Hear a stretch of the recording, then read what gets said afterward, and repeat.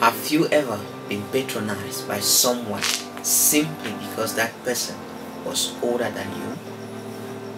If no, how will you feel if somebody said these statements to you? You need to grow up or grow up. You can't understand this because you're too young. When you reach my age, you'll be able to understand.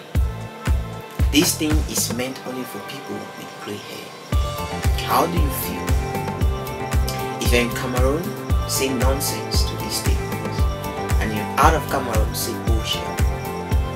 The genesis of such statements is from this statement. What an old man can see while sitting, a young man cannot see while standing. Today in this video, I am going to share with you my secret of how to see things while sitting like an old man. Wisdom equals knowledge plus experience. Wisdom is that thin line that separates what an old man see from what you are seeing. So get wisdom, then you will see things like an old man. And the question is, how then can you get wisdom without having to live a lifetime in order to gain knowledge and experience? My hack will teach you two things. First, you will need to answer two questions. And the very first question is, what kind of wisdom do you want? In what area in your life or aspect do you want to apply this wisdom? Is it in business? Is it in politics? Is it in science? Is it in entertainment or is it in entrepreneurship? Now, after you have answered this question, the next question will be how old is the wisdom you want to get? Is it the 50 year old wisdom? Is it 60 year old wisdom? Is it 70 year old wisdom? Personally, I prefer 70 year old wisdom. Now, after you have made your choice of how old the wisdom you want to get is, I want you to do this. Go out and look for a person that is as old as your wisdom. If it's a 70 year old wisdom, go out and look for somebody that is 70 year old. You can look for more than one person. It's okay. I want you to look for that person that is in that particular area of your life. Is it in business? Is in politics? When you identify that person, I want you to walk up to that person and ask the person these questions. All you'll be doing is to tactfully ask this person questions and patiently listen. You ask the person questions like, could you please tell me about your humble beginning? Ask the person, at what age of your life you have a dream of achieving what you have today with your wisdom? How did you achieve what you have today? Who helped you? What are the obstacles you face? What are the challenges you face? And how were you able to overcome these challenges? Did you overcome these challenges alone? Or did you have help from others? What are the kind of books this person is reading?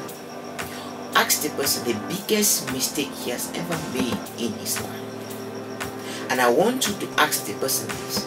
Ask him to segment his life. If he's a 70 year old person, depending on what you want, ask the person to break down his life in maybe intervals of 10 years and ask him to narrate each, to take each age range and tell you what he did and the mistakes he did in that particular age range. It can be in fives or in tens so that you have a step-by-step recount of how he spent his life. Then the next question is ask that person a question related to your age. If you are 25 years old, ask that person this question. When you were 25, how was your life? What did you do? What were the mistakes you did? Then ask that person to give you a solid on what to follow in order to become one. The issue here is when you ask this person what he did, you are going to live through his lifetime. If the person is 70 years old, you're going to live through the 70 year old maybe in just an hour. Then you'll be able now to gain his experience, you'll be able to gain knowledge without having to live a lifetime, without having to live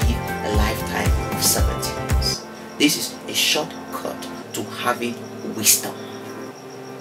The next thing is you can also have wisdom from people who are dead or people who are living but they are far away from you. You cannot get to them. And this wisdom i call is downloadable wisdom. Go out there. Look as many books as possible. Books written by these people who have wisdom in the area that you are interested. Get these books look for the easiest reading methods and select one that is good for you. Use this reading method to get the most out of this book. For example if you want to be like robert t. Kiyosaki get his books and read about them to get to be like him you can be like nelson reading about nelson mandela you can be like uh, mahatma gandhi by reading about him you can be like Abraham Lincoln by reading about him. You can be like any person you want to be. So using these two techniques or using these two hacks I have shared with you, you'll be able to become like anybody you want. You can be a 50 year old man if you want. You can be a 60 year old person if you want today. Simply by downloading the 60 year old's wisdom and looking at the wisdom that is as old as the wisdom you need and you copy from it. If you love this video and you are willing to put these two techniques I've shared with you, you'll be able to see things from any angle you want. Share this video to people who want to have wisdom without having to live through a particular age. Like and comment to this video.